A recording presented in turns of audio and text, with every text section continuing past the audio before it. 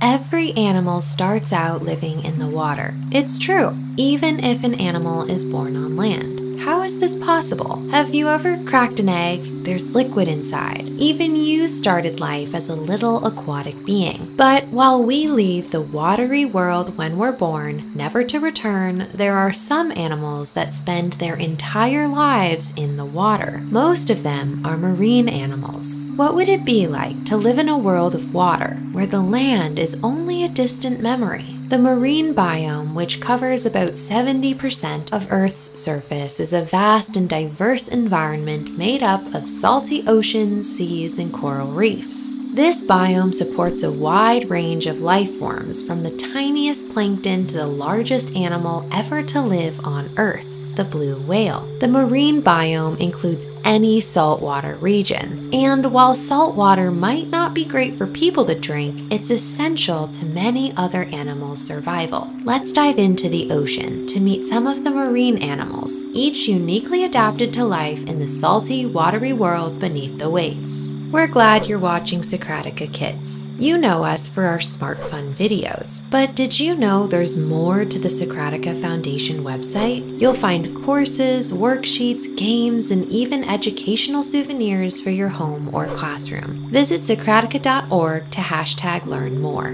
First up, we have the blue whale. The blue whale is the largest animal to ever live, even bigger than the largest dinosaurs. These ocean giants can grow up to 100 feet or 30 meters long and weigh as much as 200 tons or 180,000 kilograms. Despite their enormous size, blue whales feed primarily on tiny shrimp like creatures called krill. A single blue whale can eat up to 16 tons of krill in a day during feeding season. They filter their food using baleen plates, which act like a comb, trapping the krill as they take in huge mouthfuls of water and then push the water out. Blue whales are also known for their low frequency songs, which can be heard over hundreds of miles underwater. These whales are migratory, traveling thousands of miles between their feeding grounds in the cold polar waters and their breeding grounds in warmer tropical seas. Despite spending its whole life in the ocean, remember,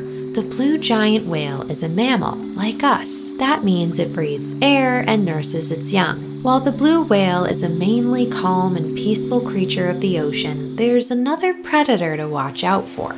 The great white shark is one of the most fearsome predators in the ocean. These killer fish can grow up to 20 feet or 6 meters long and weigh over 4,000 pounds or 1,800 kilograms. Great whites have a torpedo shaped body that make them fast swimmers, capable of reaching speeds of up to 35 miles or 56 kilometers per hour in short bursts. Their rows of sharp serrated teeth are perfect for tearing into their prey, which includes seals, sea lions, and even large fish. Did you know that great white sharks also have special sensors on their snouts that allow them to sense signals given off by the muscles of other animals? This helps them find prey even in murky water. Turns out they are apex predators for a reason. Many people don't realize that great white sharks are highly intelligent and often test their prey before deciding to attack, sometimes biting and then releasing if the prey isn't what they expected. Okay, enough scary. Back to another peaceful animal of the sea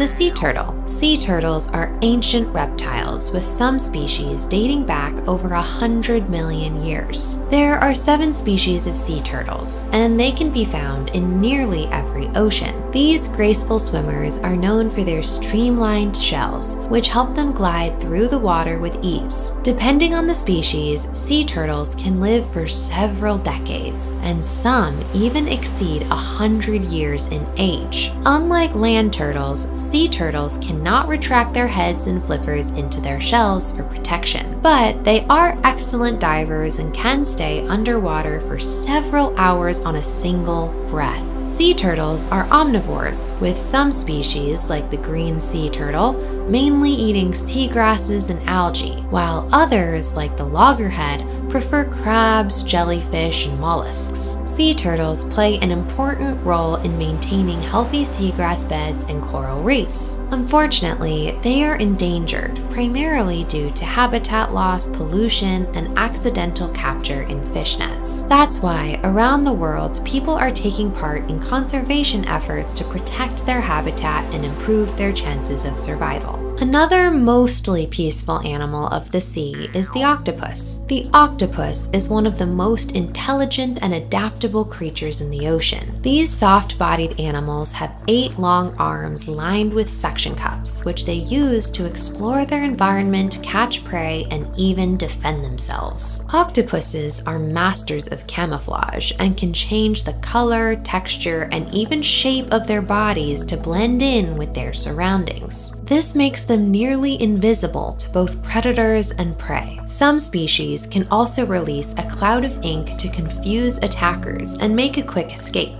Octopuses have large, complex brains and are known for their problem solving abilities. They can open jars, escape from enclosures, and even use tools when given the opportunity. Most species of octopus are solitary, spending their time hiding in crevices and hunting at night. But recently, scientists have observed octopuses teaming up with certain fish so they can catch more prey together. Their diet includes crabs, fish, and small marine animals, including a variety of small mollusks like clams, oysters, and mussels. Wait a minute, you might say, aren't octopuses mollusks? Yes, Yes, they are. It's a tough world out there in the marine biome. Have you ever seen this fish before? They can be very popular at your local pet store or aquarium. The clownfish is a small but colorful fish found in the warm waters of coral reefs. These fish have a unique relationship with sea anemones, which provide them with protection from predators. Anemones sting most fish, but clownfish are immune to their stinging cells. In return, clownfish help keep the anemone clean by eating debris and small parasites.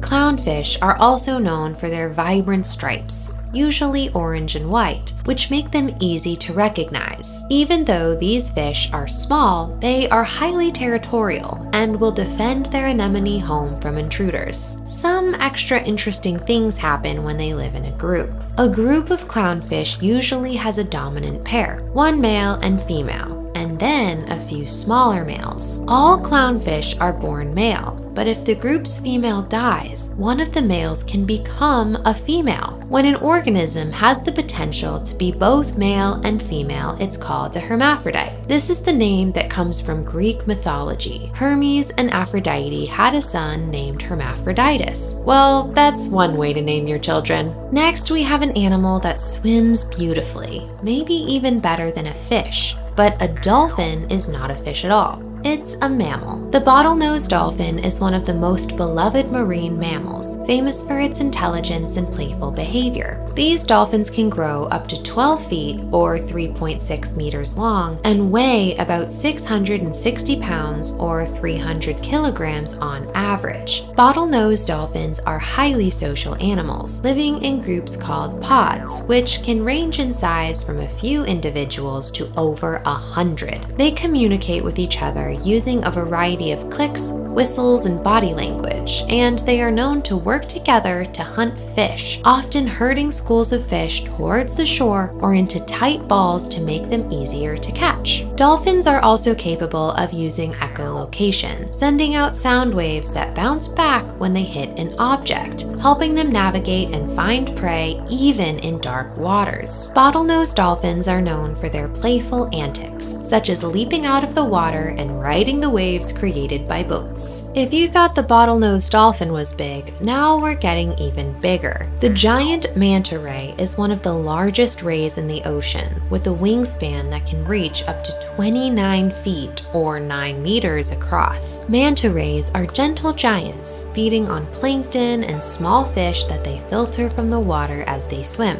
Mantas are easily recognized by their large triangular fins, which they use to gracefully glide through the water and the two horn like fins that extend from their head, giving them their nickname, devil rays. Manta rays are often seen swimming near the surface of the water, and they're known to leap out of the water in spectacular displays. Unlike many other fish, manta rays give birth to live young called pups, which are born fully developed and ready to swim on their own. One animal that's not quite as pleasant to look at is the moray eel. The moray eel is a long, snake-like fish that lurks in the crevices of coral reefs, waiting to ambush passing prey. They can grow up to 13 feet or 4 meters long, depending on the species, and have sharp teeth that curve backwards to help them grip slippery prey like fish, octopuses, and squid.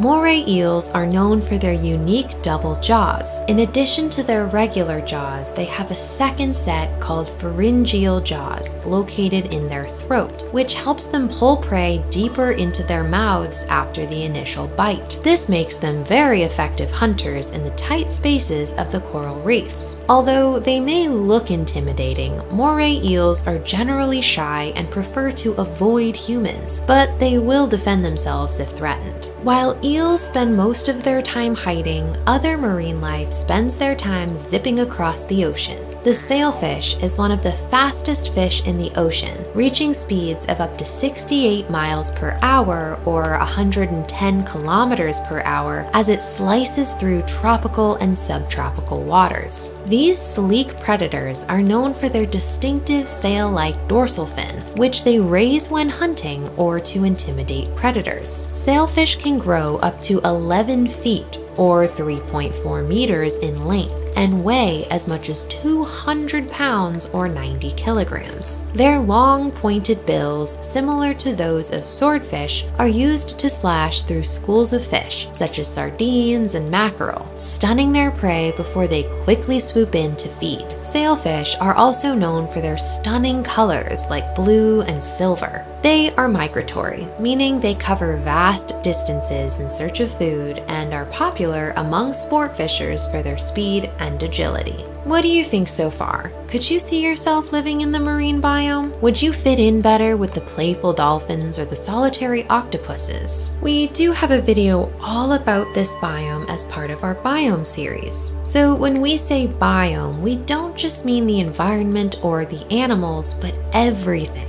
Who lives there? What is the climate like? The whole shebang. We'll link the series below. The jellyfish is one of the oldest living creatures on Earth, with fossils dating back over 500 million years. These animals are made up of 95% water and lack a brain, heart, or bones. How are they even alive? Jellyfish are invertebrates, meaning they have no backbone. And while they don't have a brain, they have a simple net of nerves they can use to sense vibrations. Most importantly, they have a mouth so they can eat. When you see this kind of primitive animal pared down to the essentials, it makes you realize how complicated other creatures are. Even though jellyfish are simple, they are pretty strong predators. They use their tentacles, which are lined with stinging cells, to paralyze and capture prey like small fish and plankton. Jellyfish come in a variety of shapes and sizes, from tiny species just a few centimeters long to the giant lion's mane jellyfish. Some species of jellyfish are bioluminescent, meaning they can produce their own light, which may help them attract prey or confuse predators. Jellyfish are found in every ocean, from the surface waters to the deep sea, and they're able to thrive in environments that many other animals find inhospitable. Another marine animal that can live in all oceans is the orca. The orca, also known as the killer whale, is one of the top predators in the ocean. These striking black and white mammals are actually the largest members of the dolphin family and can grow up to 32 feet or 9.7 meters long and weigh up to 8,800 pounds or 4,000 kilograms. Orcas are highly social and live in family groups called pods, which are usually led by a female. These pods use complex communication methods, including clicks and whistles, to coordinate their activities, like dolphins. Orcas are known for their sophisticated hunting techniques, which vary depending on their prey. Some pods specialize in hunting fish, while others target seals, sea lions, and even other whales. Incredibly, orcas have been observed working together to create waves that knock seals off ice floes. Impressive.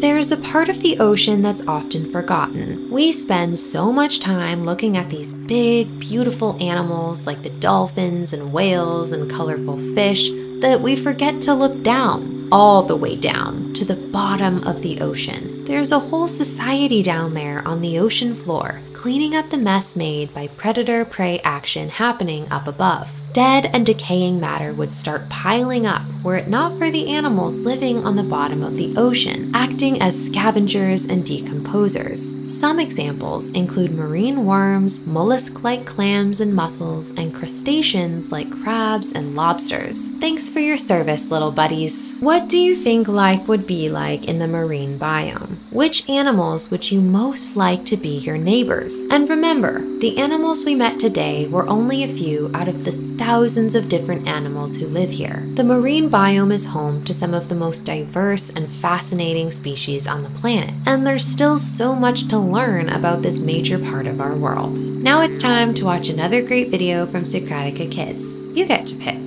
And don't forget to check out our website with smart fun extras we made just for you, linked below. Did you know that these videos are made possible by our donors? The Socratica Foundation is committed to making free educational resources for kids. Donate today.